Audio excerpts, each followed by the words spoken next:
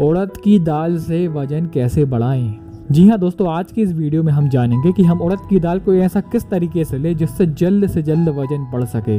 उड़द की दाल की एक खास बात यह है कि यह अन्य दालों की तरह नहीं है, क्योंकि इसमें जो प्रोटीन होता है वह कुछ अलग तरीके का होता है, अलग क्वालिटी का होता है।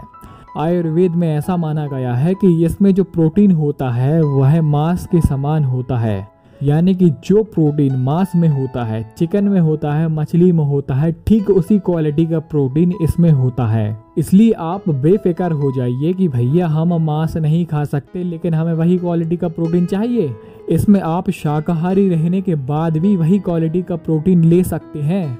कई लोगों को मैंने देखा है कि भैया वो वज़न बढ़ाना चाहते हैं मसल्स बनाना चाहते हैं। वैसे अगर आप मेरे चैनल से जुड़े रहते हैं तो मैंने इसके बारे में पहले भी बता चुका है। लेकिन मैंने वो अलग एक्सपेक्ट में बताया था। लेकिन आज हम जानेंगे कि वज़न बढ़ाने के लिए उड़द की दाल का प्रयोग कैसे करें। अब मैं आपको तरीका बताने से पहले कुछ शर्त रखना चाहता हूँ। वो शर्त मैं आपको वीडियो के अंत में बताऊँगा। सबसे पहले जान लेते हैं कि भैया वज़न बढ़ाने के लिए उड़द की दाल कैसे खाएँ, किस तरीके से खाएँ। तो आपको करना क्या है कि आपको लाना है मार्केट से उड़द की दाल, खड़ी उड़द की दाल जो कि काली होती है। इसमें अगर हो सके तो ऑर्गेनिक उड़द की दाल मिल जाए तो सबसे उत्तम, उससे अच्छा कुछ है ही नहीं। अब बनाने की विधि में सबसे पहले इसकी मात्रा जान लेते हैं। तो भैया, बात ऐसी है कि ये चना तो है नहीं कि भैया मुट्ठी भर लो, पानी में भिगो दो, अगले दिन उसको खा लो, अगले दिन उसको उबाल कर खा लो। ये है उड़द की दाल। उड़द की दाल होती है बहुत भारी। उड़द की दाल पचाने के लिए शरीर को एडी से चोटी तक का दम लगाना पड़ता है। आपके पेट में हाजमे में इतनी दम होनी चाहिए कि आप उड़द की दाल पचा सकें। और शायद इसी कारण से ही इसको माँ की दाल कहा जाता है, क्योंकि यह शरीर को पुष्ट कर देती है, शरीर को पोषण देती है, शरीर को बलवान बना देती है। और यार इसमें प्रोटीन और अलग तरीके का होता है, जिससे और ताकत लगानी पड़ती है पचाने के लिए। अब इसमें आपको मात्रा में करना क्या है कि जितनी आप पचा सके, उतनी मात्रा में उड़द की दाल लेनी है। मान लीजिए कि आप 20 ग्राम 30 ग्राम उड़द की दाल पचा सकते हैं। इसको गलाना नहीं है, इसको गलाने का कोई सिस्टम ही नहीं। अब करना क्या है कि मान लीजिए कि आपने 30 ग्राम उड़द की दाल ली है, अब उसको किसी लोहे के पात्र पे रखना है और उसको आपको पकाना है, उसकी खीर बनानी है। खीर बनाने के लिए आपको डालना है उसमें आधा कप दूध। दूध होना चाहिए गाय का, या ना मिले तो भैंस का। लेकिन भैया, जर्सी गाय का दूध तो आप गलती से भी मत डालना। मैं इसमें सलाह दूँगा कि भैया आपको शुद्ध देसी गाय का दूध न मिल पाए तो भूल जाइए भैया गाय का दूध है या नहीं। आप भैंस का दूध ले सकते हैं। इसमें मैं उम्मीद करता हूँ कि भैंस का दूध लगभग सब जगह उपलब्ध होगा। लेकिन जर्सी गाय का दूध तो भैया राम राम कर लेना दूर से।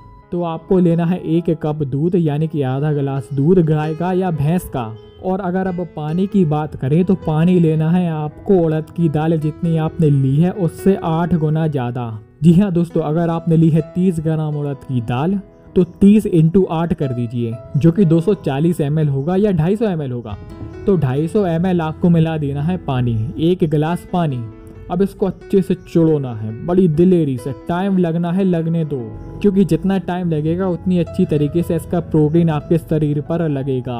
अब तीनों इंग्रेडिएंट मतलब जब आपको लगेगी पानी पूरी तरीके से उड़ गया है, अब एकदम नरम उड़द की दाल बची है मतलब चबाने लायक उड़द की दाल बची है, पककर उड़द की दाल बची है। अब इसको ठंडा करके लेना है और उसमें दो चम्मच मिश्री का पाउडर मिलाना है। मिश्री इसमें होने चाहिए धागे वाली मिश्री। ये जो मार्केट में कटिंग वाली मिश्री मिलती है ना, वो मिश्री मिश्री कुछ नहीं होती, मिश्री के नाम पर कलंक होती है। आपको लेना है धागे वाली मिश्री जो कि आपको अभी अपनी स्क्रीन पर दिख रही होगी। और उसी धागे वाली मिश्री का पाउडर आपको मिला देना है इसी खीर में। क्योंकि यार टेस्ट मेस्ट भी तो आना चाहिए। खाने में मज़ा नहीं आता यार फिर। वैसे अगर टेस्ट को एक तरफ़ रखे तो मैं फिर भी बोलता कि भैया मिश्री मिलाओ क्योंकि मिश्री इसमें क्या करेगी कि मिश्री एक्स्ट्रा कैलोरीज ऐड कर देगी, जिससे आपका वज़न अच्छी तरीके से बढ़ पाएगा। वैसे आयुर्वेद के नज़रिए से देखे तो मिश्री खाने से वज़न बढ़ता भी है, शरीर पुष्ट होता है, स्निग्धता आती है शरीर में। अब ये तैयार की हुई मिश्री आपको लेनी है सुबह सुबह खाली पेट। और इसे खाने के बाद आपकी भूख हो जाएगी गुल। इसे आप चाहें तो व्यायाम करने के बाद भी ले सकते हैं। अगर आप पूछे कि भैया इसे व्यायाम करने से पहले ले सकते हैं तो नहीं, इसको लेना है व्यायाम करने के बाद। व्यायाम किया, पंद्रह मिनट रुके और उसके पंद्रह मिनट के बाद आप खा सकते हैं इस खीर को। अगर आपको इससे रिलेटेड कोई भी सवाल हो तो आप मुझसे बेझिझक नीचे कमेंट बॉक्स में पूछ सकते हैं। अब आते हैं कुछ शर्तों पर। जैसे कि शर्त नंबर पहले की, आपको डाइजेशन से रिलेटेड कोई भी समस्या नहीं होनी चाहिए। दूसरी शर्त, कि इसको रोज नहीं खाना है, क्योंकि होता क्या है कि उड़द की दाल बहुत जल्दी वज़न बढ़ा देती है। अब मैंने भैया जो ये शब्द बोला है कि उड़द की दाल बहुत जल्दी वज़न बढ़ा देती है तो इसे सुनकर कई लोग रोज खाने लगेंगे। लेकिन भैया, आपको ऐसा नहीं करना है, क्योंकि आयुर्वेद में बोला गया है कि उड़द की दाल रोज नहीं खानी है। क्योंकि उड़द की दाल होती है बहुत भारी, यह लीवर पर बहुत ज़ोर डाल देगी। इससे होगा क्या कि आपको टाइफाइड या लीवर से जुड़ी कोई भी समस्या होने लगेगी फ्यूचर में, इन द अपकमिंग फ्यूचर। तो इसमें आप करें क्या? आपको लेना है इसको हफ़्ते में दो बार। या तो एक संडे या वेनसडे फिक्स कर लीजिए, या कोई भी आप अपने हिसाब से डे फिक्स कर लेना। अगर आपका दिल फिर भी नहीं मानता तो आप इसको हफ़्ते में तीन बार ले सकते हैं, लेकिन तीन बार से ज़्यादा नहीं लेना है। और ज़्यादा मात्रा में भी नहीं लेना है। जितनी औकात है, उतनी ही लेना है।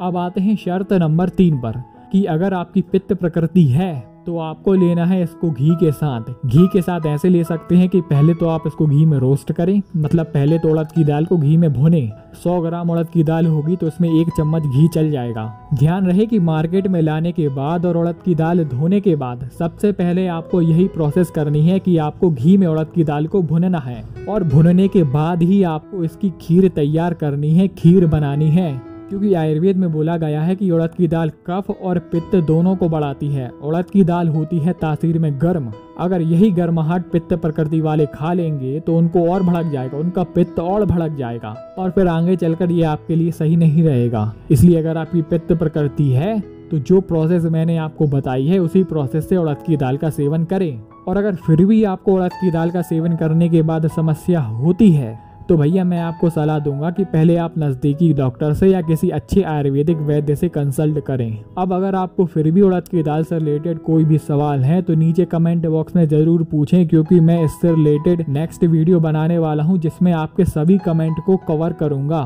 तो दोस्तों, आज के लिए सिर्फ़ इतना ही। धन्यवाद।